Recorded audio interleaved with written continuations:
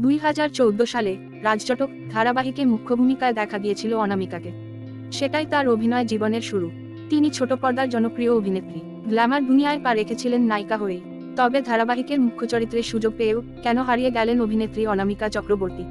ব্যক্তিগত জীবনে নতুন অধ্যায় শুরু করেছেন তিনি। দীর্ঘদিনের প্রেমিকের সঙ্গে সাত পাকে বাধা পড়েছেন। তবে পর্দায় কেন দেখা যাচ্ছে না অনামিকাকে? সম্প্রতি একটি সাক্ষাৎকারে এ নিয়ে বিস্ফোরক অভিনেত্রী, ইন্ডাস্ট্রি নিয়ে তার গলায় শোনা গেল ক্ষোভ, অভিযোগ। দুই হাজার চৌদ্দ সালে রাজচটক ধারাবাহিকে মুখ্য ভূমিকায় দেখা গিয়েছিল অনামিকাকে। সেটাই তার অভিনয় জীবনের শুরু। এরপরে ফুলমণি এখানে আকাশ নীলের মতো ধারাবাহিকেও ছিলেন তিনি।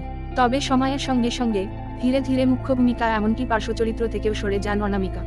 কেবল ধারাবাহিক নয়, হইচই, এর মতো জনপ্রিয় ওয়েব প্ল্যাটফর্মে ওয়েব সিরিজে মুখ্য ভূমিকায় অভিনয় করেছেন অনামিকা। শহরের উষ্ণতম দিনে র মতো বড় পর্দার ছবিরও গুরুত্বপূর্ণ চরিত্রে অভিনয় করেছেন তিনি। তবে বর্তমানে কেন তিনি দূরে সরে গেলেন পর্দা থেকে?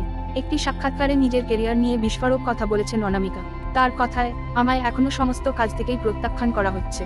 কারণ হিসেবে দেখানো হচ্ছে, আমি নাকি মোটা হয়ে গিয়েছি। পর্দায় আমায় আর দেখতে ভালো লাগবে না। অভিনেত্রী মানেই হতে হবে স্লিম, সুন্দরী। এটাই সবাই বিশ্বাস করে, সর্বোপরি এই বিশ্বাসকে বদলাতেও চায় না।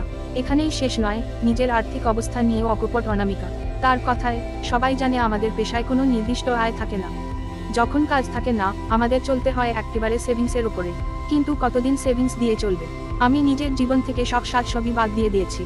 কিন্তু যেগুলো প্রয়োজন, সেগুলোও কিনতে পারছি না।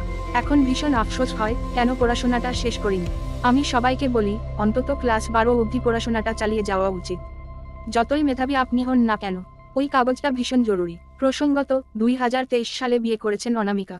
তবে অনুষ্ঠান করে নয়, খুব ঘনিষ্ঠ মানুষদের উপস্থিতিতে মনের মানুষের সঙ্গে নতুন জীবন শুরু করেন অনামিকা। তবে বিয়ের পরে তার কেরিয়ারে তেমন ভালো কোনো কাজ নেই, অথচ কাজ করতে চান অনামিকা, সেই কথাই বারে বারে তিনি ব্যক্ত করেছেন।